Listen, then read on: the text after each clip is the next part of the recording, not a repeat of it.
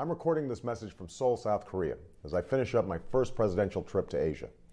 As Today, I'm speaking to you from Indonesia as I finish up my trip to the Asia Pacific, the region where we do most of our trade and sell most of our exports. Uh, I know you're all looking forward to spending time with uh, your families over the holidays, uh, but uh, we did have one last piece of business to finish up. This way, our youngest daughter can finish up high school. Michelle can stay closer to her plot of carrots. And then uh, the next thing I would just finish up with is the hope that um, we can move forward next year and get a lot of things done, especially things near and dear to the heart of people in this room.